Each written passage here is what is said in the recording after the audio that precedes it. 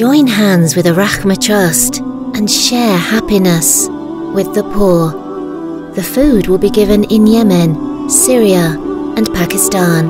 Donate £1 each day for 30 days to feed the poor.